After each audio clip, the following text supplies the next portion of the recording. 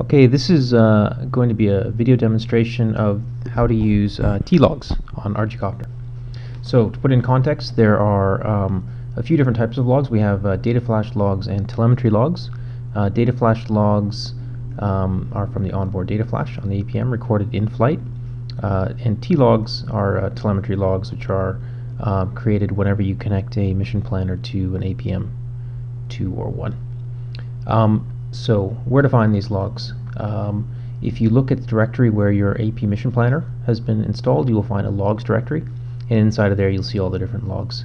Uh, so a data flash log appears as, as .log, a T-log appears as .tlog. Um, and R log, you don't need to worry about that. That's a telemetry log with additional um, information in it. It's called a raw log. Uh, a KMZ file is uh, a Google Earth file. Um, never mind about that for now. Okay, so uh, here's a telemetry log, a T-log. Um, so what can you do with it?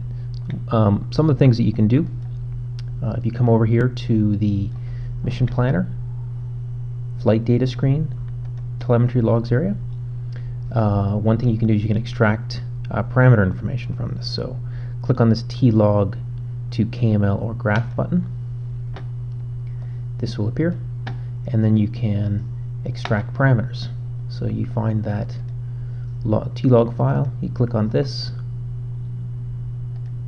and then you'll see right here it's created a param file. You can drop that into Excel. It appears as an unsorted list but you can easily sort it of course like this. And now you have a list of every single uh, parameter and the value.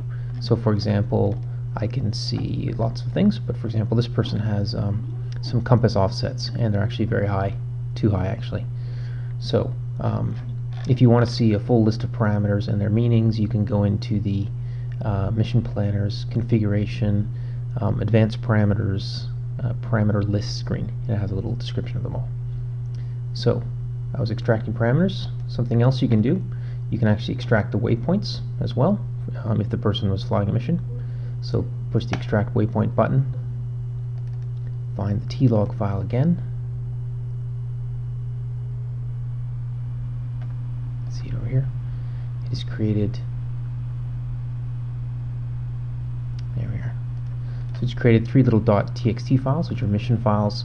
Uh, why are there three? Uh, I'm not sure. Maybe uh, the person had, um, uh, you know, uh, displayed the mission or had, you know, changed the mission while while it was connected to the to the mission planner I'm not sure. Uh, anyway you can view this by going into the flight planner screen and then clicking on the right mouse button uh, file load save and load waypoint file. And select one of those files so I'll select the second one or actually the third one. Reset home to loaded coordinates let's say yes. There we are. So that's the person's mission right there see all the little parts of it Okay, uh, what else can you do? Um, we can, of course, uh, play the telemetry log. So if we can see in just what the pilot saw when he was connected to the mission planner while flying. So in this case, uh, there's two basic controls here. Um, we've got the speed, so this is running at normal speed, real time. Let's just speed that up because there's not much going on right here. So make it five times. Also, uh, this controls where in the log we're seeing, where, where we're at. So we're at 4%. Doesn't seem to be much going on 4%, so let's just zoom forward a bit. We'll also zoom in. Now, the interesting thing here is this should have been almost exactly like what the pilot actually saw when he was uh, when he was flying.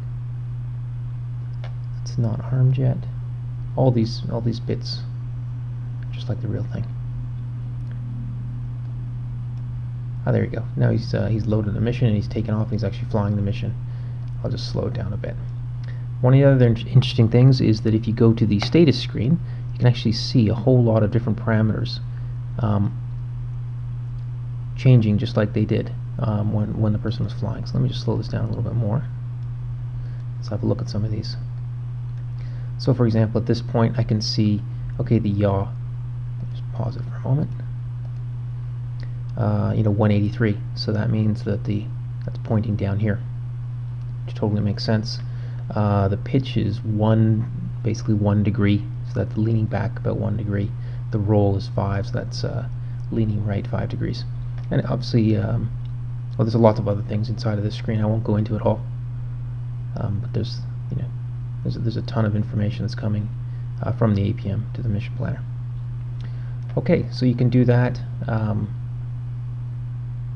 uh, you know, obviously, you know, you can you can pause it at if there's a particular point where something went wrong, you can pause and then have a look at exactly what, you know, what was the situation, or you can see exactly what the situation was at that time. Okay, and uh, the last thing you can probably do with the telemetry log is graph it.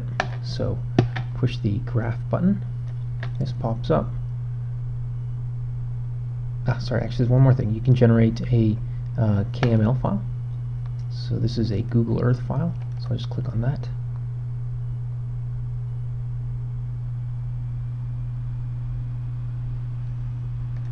There we are. So it's created a KML and a KMZ.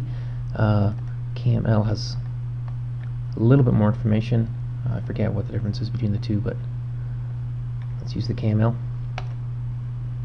And then here we can see person somewhere in Africa and get rid of the points.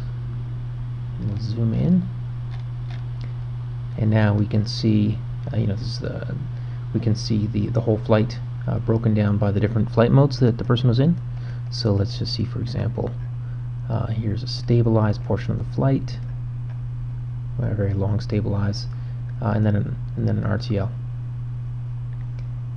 And uh, what might be more interesting is here's the auto mission that the person was flying. So you could compare this, say, to what we saw in the flight planner, and is it, you know, is it is it the same? That's roughly the same. Sort of a triangle. Looks like he was pushed around a little bit here, but never mind. Um, okay, and the last thing, uh, like I was going to say, was the graphing. So you can push on this graph button, and then graph a log, pick the log file,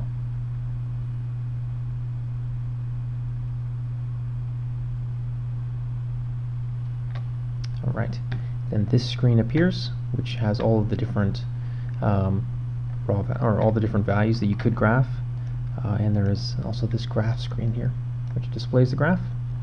So for example I could display the altitude. Uh, if I keep clicking it and it changes color. So if you're not happy with a particular color just keep on clicking. Um, you can also of course graph more than one one thing at once. So maybe I want to graph the the roll and the altitude at the same time.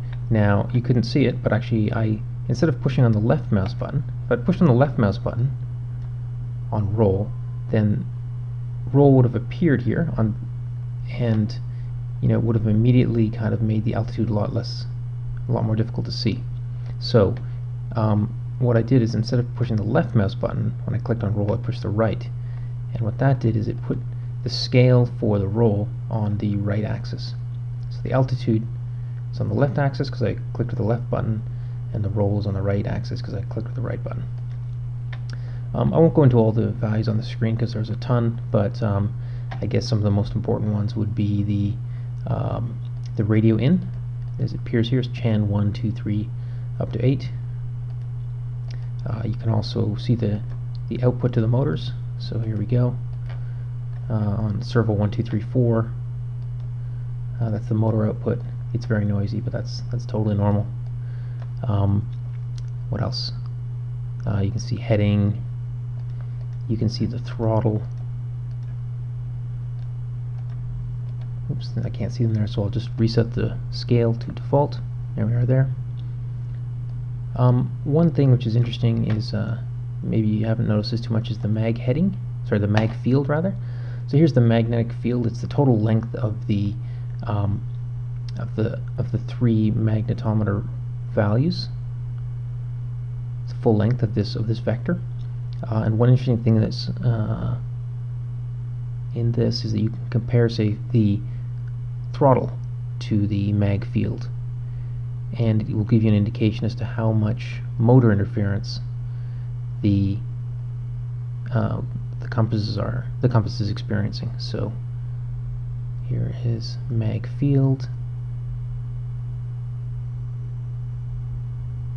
and here's throttle, and you can see that there is definitely some interference going on. So the mag field should basically be uh, stable, mostly unchanging, but and it is when the throttle's off. But as soon as the throttle comes on, bang, bang, bang, the, the mag field is is getting longer and shorter. So um, this person probably needs to move their their compass further away from the from the ESCs or or other wires. Okay, that's it. Hope that was helpful.